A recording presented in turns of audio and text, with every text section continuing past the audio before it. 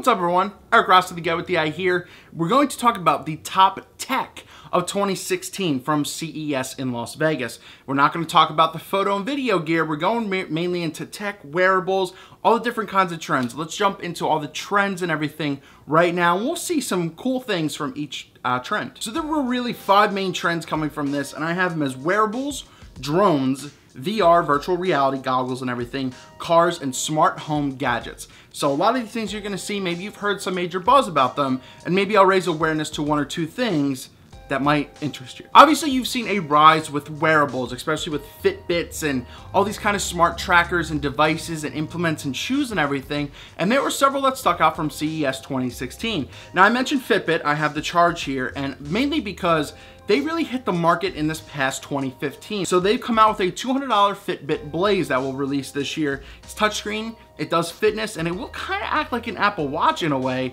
but you won't get like Twitter, Facebook notifications, but you can still make calls, uh, messages, and everything of that sort. So the Fitbit Blaze is going to be something interesting. You know, it really looks like an Apple Watch touchscreen, so it's getting a little more, I guess, universal and dynamic. Just doesn't look like a band it just looks something pretty cool. And one of the biggest talked about things, and I, I don't know what how I feel about it, but it was the Welt, and it was by Samsung. It's basically a smart belt that helped measure, accurately measure like your waist size and things of that nature. While that might not sound interesting, implementing that technology into other kind of things, maybe like BMI, into clothing and everything, you can get more accurate fitting clothing, and just you can monitor your health in more of a different way. So I don't know, that's just something that was interesting, still maybe meh to me, but uh, in the future, you might not know what that kind of technology uh, might do. A lot of you people might know Fossil is a big, especially male's watch type of brand, and they come out with pretty expensive but very nice and elegant uh, watches, but they have made smartwatches that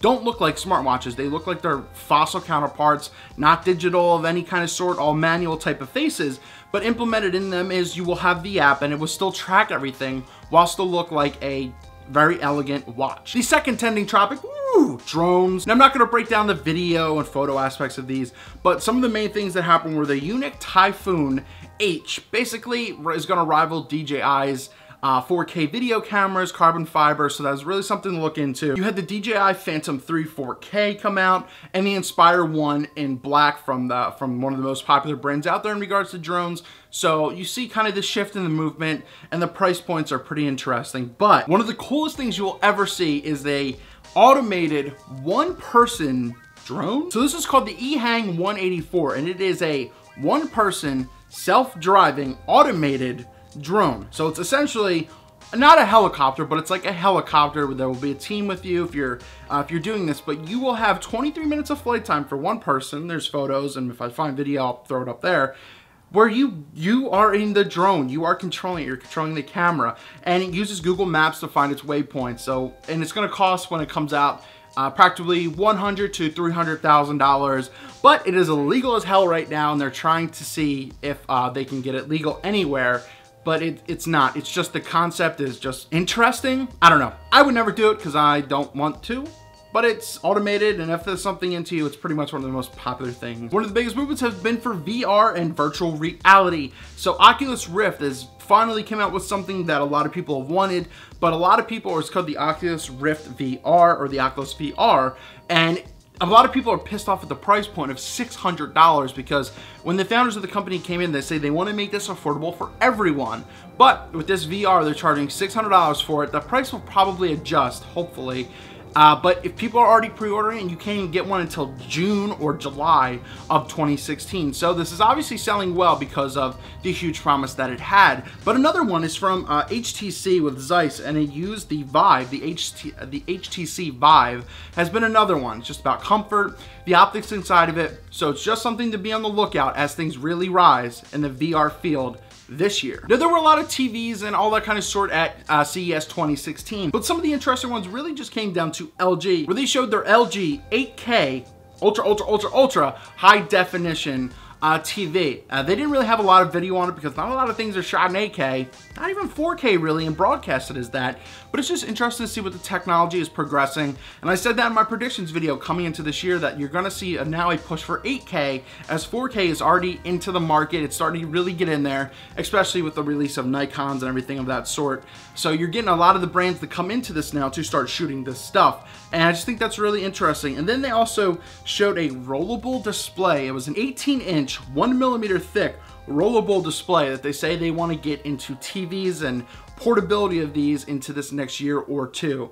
So while that just baffles me, I don't doubt it. Now, cars have been a huge thing. Last year, there was the BMW and the Tesla, the self-driving Tesla, which a lot of the YouTubers you may have seen driving these things or not driving things, they're hand-free. But two big ones really stuck out to me, and it was the Chevy Bolt, which essentially gets you 200 miles to the whatever they're calling it. It's gonna cost 30K and it has a 10.2 inch touchscreen, which basically helps you control the freaking car. I just think that's pretty awesome. And that's one of the biggest awards and you know from CES 2016 in regards to smart cars. And the other thing isn't necessarily a car, it's the technology in the car, and it's the BMW AirTouch 3D, and basically allows you to control the car and some of the uh, touchscreen into it just through uh, gestures, 3D gestures. So that's a cool technology you might see really coming into cars and uh, maybe other devices, which it already kind of has. I'm not really an audiophile, but I do like some good sound. And some of the good things you've heard might be the Jaybird X3 and the Freedom. Now, once again, they, they're probably better fitting, a little more comfortable. Jaybird has been one of the biggest Bluetooth brands out there.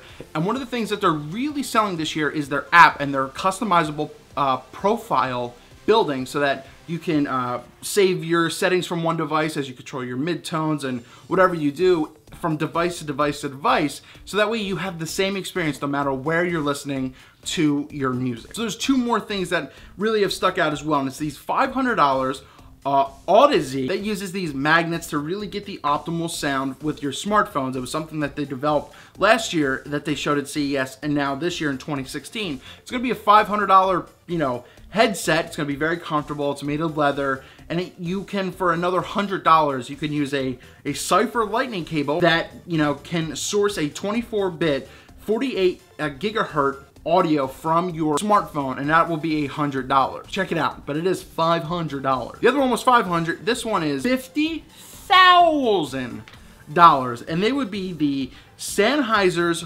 Orpheus. So for $50,000, there are only going to be 250 of these made by Sennheiser, uh, Sennheiser, and because they basically take one day to make one full thing, you need an eight glass amplifier, all these tubes inside of this amplifier that hovers over marble to get this optimal sound.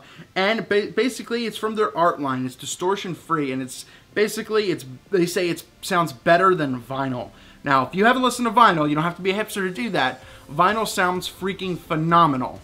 And apparently, these beat that. For 50K, they better. I'm gonna round out the list here and it is gonna be with the smart home gadgets And there were three that kind of intrigued me. And one of the ones starting off is the Samsung Hub Smart Fridge. And it is basically one of the smart home technologies for fridges. You're gonna see a big stainless steel refrigerator, but it has a 21.5 inch touchscreen onto it, especially onto the right side, which you'll see in this photo here. And it, it has Amazon Alexa built into it, it has a camera inside so that you can monitor what is inside of it, and I guess just to save energy and everything of that sort. And it, you could see that through your mobile app, so you don't even have to be home. Maybe if you're like, oh, do we have butter? You could check through your phone and be like, no, we don't. I can go get that. While that's not practical, I guess it's something that you can do. Lastly but not leastly, rounding this out is the Syro, I think it's called, food scanner. And this is a pocket-sized Bluetooth device that really uses infrared and some kind of spectrum that they developed for this, that you hold up to a piece of food and it measures its fat content, its carbs, and all that kind of things that you can measure in food, saturated fats, and I just think that that's interesting to have. Now, they said they haven't used it on like big items like big chickens or whatever. You've seen them use it in cheese a lot or so, smaller, thinner devices.